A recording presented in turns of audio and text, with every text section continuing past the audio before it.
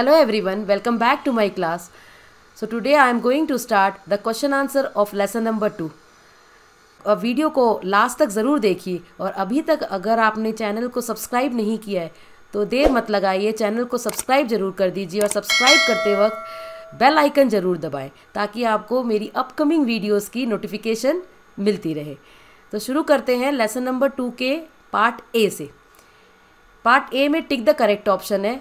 इसमें जो क्वेश्चन पूछा है द फ़र्स्ट क्वेश्चन है आपका which one of the following is not a human activity इनमें से वो बताना है जो ह्यूमन एक्टिविटी नहीं है।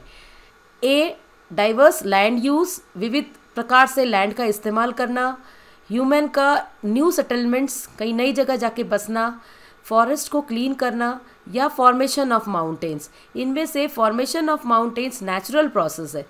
तो ये वाला आंसर करेक्ट है। D is the correct answer now the second question is which one is a continental glacier in four में से कॉन्टिनेंटल ग्लेशियर कौन से हैं? ए सियाचिन सी गंगोत्री और डी यमुनोत्री। ये तीनों माउंटेन ग्लेशियर है। कॉन्टिनेंटल ग्लेशियर अंटार्कटिका है।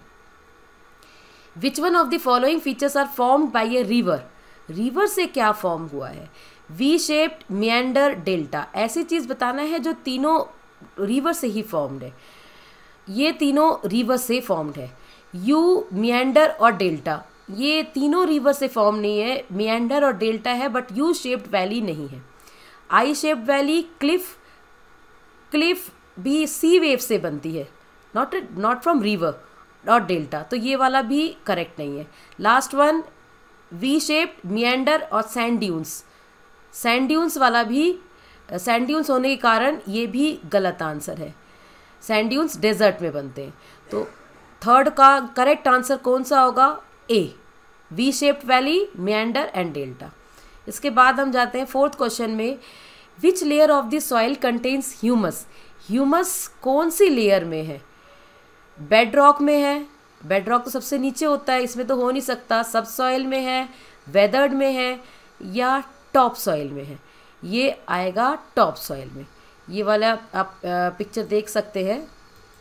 देखिए, यहाँ पे top soil, sub soil, weather rock और सॉलिड। सबसे ऊपर आपका क्या आ जाता है? ये वाला जो ग्रीन पोर्शन दिख रहा है, ये आपके ह्यूमस एरिया में है। अब चलते हैं हमारे नेक्स्ट क्वेश्चन की तरफ़। नेक्स्ट आता है which soil type is capable of retaining moisture इनमें से कौन सा मॉइस्चर को ले सकता है? और बहुत चिपचिपे और वेट होता है। ये कौन सा सॉइल है? वो है black soil now next fill ups फिर इन द ब्लैंक्स में चलते first organic matter which get decompose in the soil and converts in dark coloured material वो डार्क ऑर्गेनिक मैटर है नॉट इनऑर्गेनिक ऑर्गेनिक है, और वो डिकम्पोज होने के बाद सॉइल में डिकम्पोज होने के बाद किसमें चेंज हो जाता है? डार्क कलर मटेरियल में चेंज हो जाता है। वो डार्क कलर मटेरियल को ह्यूमस कहते हैं। ओके नेक्स्ट सबसे ज़्यादा सॉइल कौन सा large part of our country सबसे ज़्यादा सॉइल हमारे इंडिया कंट्री में इंडिया में सबसे ज़्यादा कौन सा सॉइल पाया जाता है? That is alluvial soil youthful stage में रिवर कौन से शेप बनाती है? वो शेप यूथफुल स्टेज में रिवर बनाती है, I shape and V shaped valleys. Now our fourth fill up, a dash is steep sided rock facing the sea. Sea के साइड फेस होता है, जो सी वेव से बनती है। वो स्टीप साइडेड रॉक को क्या कहते हैं? Cliffs. C L I double F S. और लास्ट वन उन दो नदियों के नाम बताने आपको, जो वर्ल्ड का सबसे बड़ा डेल्टा बनाती है, जो सुंदरबन डेल्टा बनाती है। तो सुंदरबन डेल्टा जो वर्ल्ड का सबसे बड़ा डेल्टा है, वो किन दो नदियों से बनती है? गंगा एंड ब्रह्मपुत्र। अब हम आते हैं सी पार्ट में, जिसमें आपको सिंगल टर्म या वन वर्ड बताने हैं। सैंड का टीला, जो कि deposited by wind action in desert desert में जो विंड से एक जगह वो टीला बन जाता है सैंड का। अपने राजस्थान में कई जगह देखा होगा, उसको क्या कहते हैं? सैंड ड्यून्स नेक्स्ट क्वेश्चन में आते हैं। वो process in which a gradual wearing and carrying away of soil particles soil particles को एक जगह से दूसरे जगह पे लेके जाती है। वो उस प्रोसेस को क्या कहते हैं? दैट इज़ इरोजन थर्ड में पूछा है the process of laying down of sediments sediments एक जगह जमा होती है carried by various agents of gradation एक जगह जमा हो जाना ग्रेडेशन यानी लेवलिंग ऑफ़ लैंड और उसके बाद वो एक जगह जमा हो जाती है, उसको कहते हैं deposition a mass of moving ice down the slope moving ice जो मूव करती है स्लोप से मास ऑफ़ मूविंग आइस उसको कहते हैं ग्लेशियर और अगर टॉप सॉइल हट जाए निकल जाए, ढह जाए, उसको क्या कहते हैं? सॉइल इरोजन तो फिफ्थ का आंसर होगा सॉइल इरोजन अब हम पार्ट डी और ई e करेंगे। चलिए हम पार्ट डी की तरफ़ आगे बढ़ते हैं। पार्ट डी में शॉर्ट क्वेश्चन आंसर है। क्वेश्चन आंसर हमेशा समझ के करिएगा। फ़र्स्ट क्वेश्चन है, दो टू डिफरेंस बताने हैं इंटरनल और एक्सटर्नल फोर्सेस की तरफ़। तो हम इसको ध्यान से देखते हुए पहले sorry interior interior forces and external forces internal and external तो फ़र्स्ट में चलते हैं।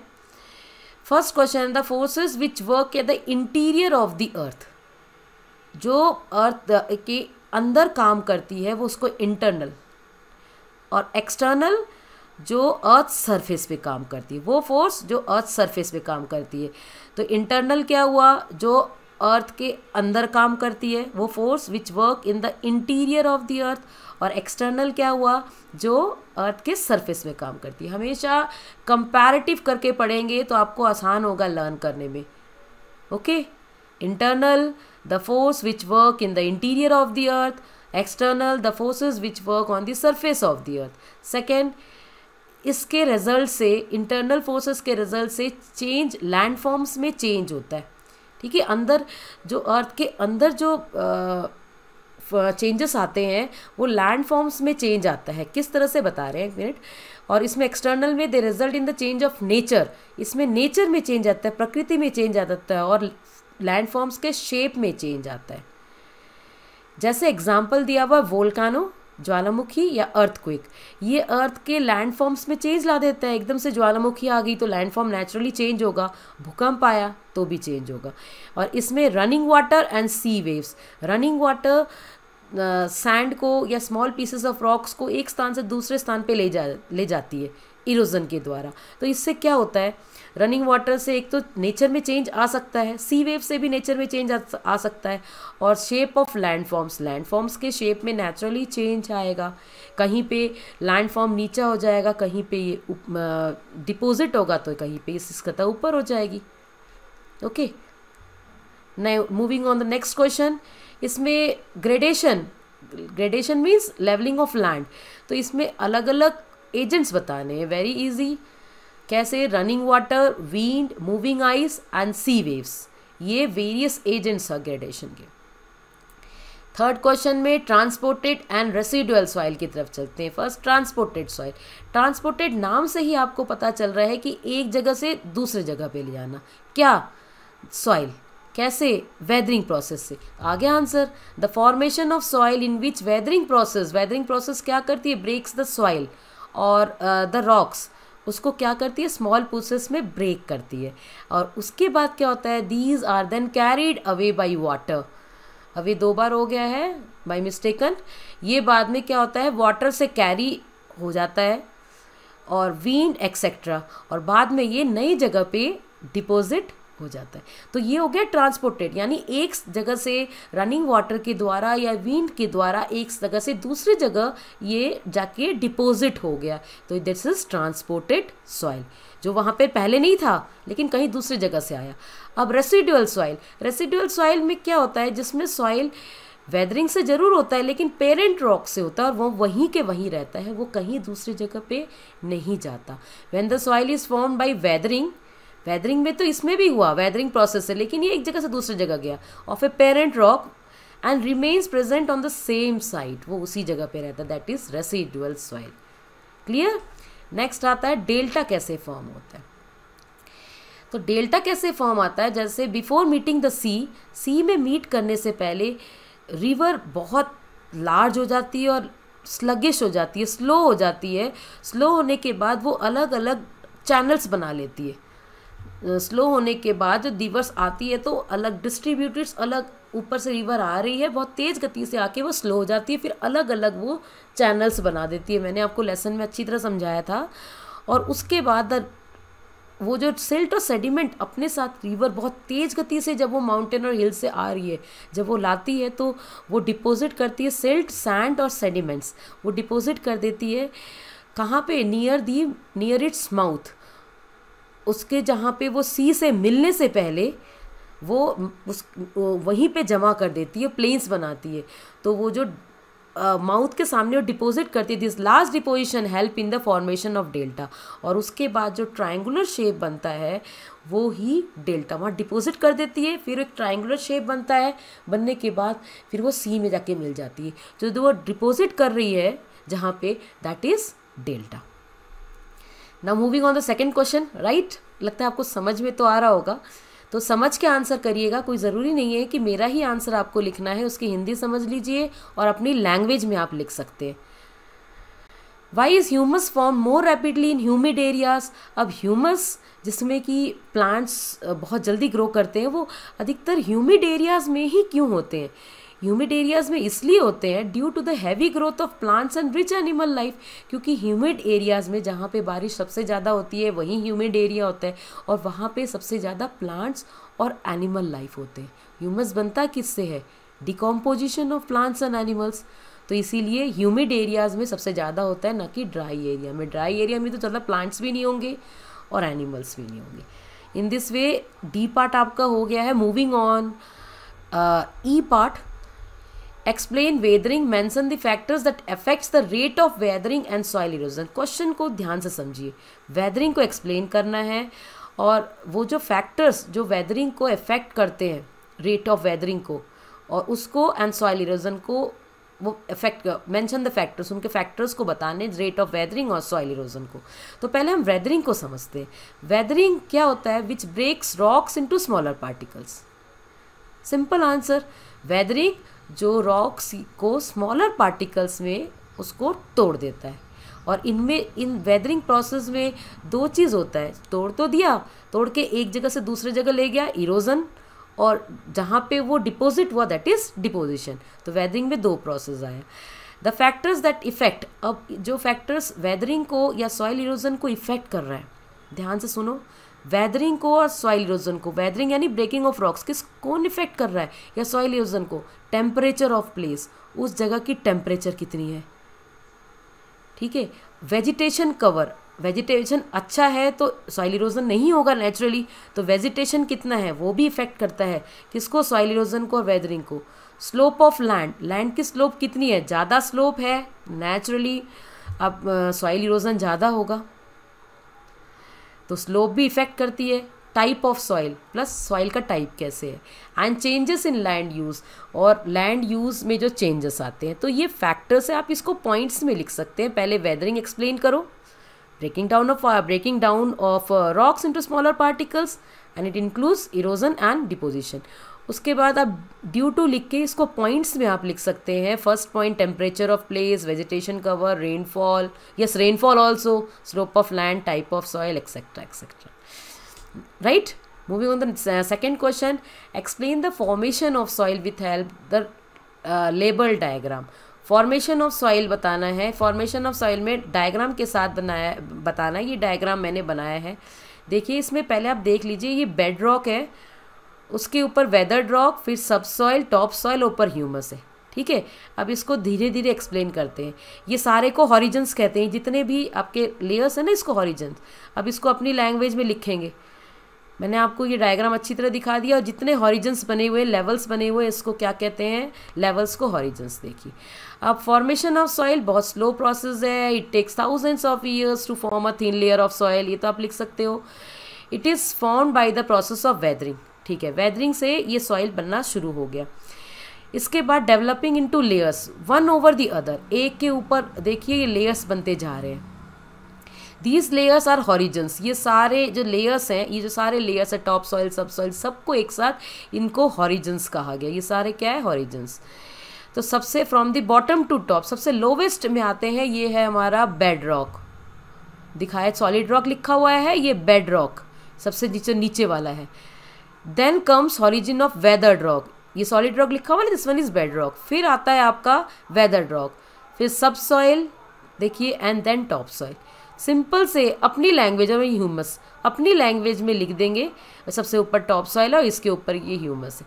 तो अपनी लैंग्वेज में लिखेंगे कैसे सॉइल फॉर्म होता है, पहले लिखेंगे स्लो प्रोसेस है it takes thousands of year and by the process of weathering it soil the developing the layers and then one over the another these layers are call horizons और उसके बाद आप सबसे नीचे से लेयर शुरू करेंगे सॉलिड रॉक से या बेड रॉक से, उसके बाद ऊपर की लेयर बताएँगे that's it moving on the next question ये अपनी लैंग्वेज में आप लिख सकते हैं। वो आप लोगों के लिए ही मैंने वीडियो बनाई है क्योंकि आप लोगों की रिक्वेस्ट आई थी कि मैडम क्वेश्चन आंसर भी समझा दीजिए, ठीक है? नेक्स्ट आते हैं टाइप्स ऑफ़ सॉइल में। पहले ध्यान कर लो टाइप्स ऑफ़ सॉइल याद कर लीजिए। Four types four types of soils alluvial black red soil laterite soil इनके कैरेक्टरिस्टिक बताने हैं। तो एक एक करेक्टरिस्टिक याद कर लीजिए। एलुवियल एलुवियल सॉइल ज़्यादा fertile and forms major agricultural land of the country आप इसमें सिंपल सा लैंग्वेज भी लिख सकते हैं। Alluvial soil is very fertile soil and is this soil is use for agricultural purpose black soil black soil found in the Deccan plateau and it is largely use to grow cotton that's why it is also called cotton soil कोई ज़रूरी नहीं है same to same language का इस्तेमाल करना है। Next आता है रेड सॉइल पहले आप ध्यान करोगे रेड सॉइल किस लिए कहते हैं? The soil is red due to the presence of iron particles. Now, laterite soil. Laterite soil found uh, over the hill slopes and the peninsular plateau. Our uh, laterite soils are most common where there uh, are reasons of heavy rainfall. Try to understand and make it in your own language. Now, moving on, the fourth question. Describe the journey of river from its source to its mouth. जहाँ से ये निकलती है, वहाँ से और last तक ये जहाँ ये रिवर पहुँचती है, उसकी जर्नी बतानी है। तो ये river like an any living form has a life cycle river की भी लाइफ साइकिल होती है। यहाँ से भी आप आंसर शुरू कर सकते हैं। River takes birth in a mountain mountain से शुरू किया है रिवर ने अपनी यात्रा शुरू करी। ठीक है, इसका सोर्स शुरू हुआ। बिकम्स लार्जर उसके बाद ये लार्ज हो जाती है where it's meet number of tributaries इसके बाद वो बहुत सारी सहायक नदियों के साथ मिलती है। और फाइनली एंड कहाँ होता है? इसका end when it reaches to the sea और फाइनली ये जब समुद्र में पहुँचती है, तब इसका वहीं पे एंड तो शुरुआत कहाँ से हुआ? हिल से. उसके बाद आप बीच की यात्रा उसके लिख सकते हो it takes large amount of silt and sediments from the mountains and deposited it may explain and uh, after that it uh, finally it ends when it reaches to the sea. Last में उसकी यात्रा कहाँ ख़त्म होती है? जब वो सी में जाके मिल जाती है। And our last question of this chapter why is conservation of soil important soil को बचाना बहुत ज़रूरी है। वाई सिंपल सा आंसर है सॉइल बहुत सालों में तैयार होती है। The formation of soil is a very slow process and it takes thousands of year to form a thin layer of soil बहुत समय लगाती है। अब सॉइल कंजर्वेशन हम किस तरीके से कर सकते हैं, उसके अलग बताने हैं। ज़्यादा से ज़्यादा प्लांट्स लगाओ तो सॉइल इरोजन नहीं होगा, क्योंकि उसकी जो जड़ है, वो सॉइल को जकड़ के रखती है। तो प्लांटेशन ऑफ़ ट्रीज़ दूसरा ज़्यादा से ज़्यादा पॉस्चल लैंड को मैनेजमेंट करना पॉस्चल लैंड मतलब चारागाह वाली ज़मीन। और एग्रीकल्चर प्रैक्टिस जो करते हैं वो एग्रीकल्चरल प्रैक्टिस भी अपने तरीक़ों से अलग अलग तरीक़ों से करना जैसे क्रॉप रोटेशन। ये आ, अलग अलग प्रकार के क्रॉप लगाना क्रॉप रोटेट करना इससे क्या होता है कि ज़मीन की फर्टिलिटी बनी होती है। और मल्टीपल क्रॉपिंग मेथड और बहुत सारे क्रॉप्स लगाना ज़मीन पे। इससे भी उसकी फर्टिलिटी बनी होती है। दूसरा, हम सॉइल को कंजर्व भी कर सकते हैं। I think the question answer of this chapter has been completed अगर आपको मेरी वीडियोस अच्छी लगी तो लाइक ज़रूर करिए and don't forget to give the feedback in the comment box so bye everyone